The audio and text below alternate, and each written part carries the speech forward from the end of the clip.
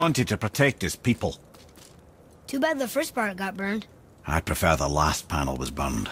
Such a senseless pity.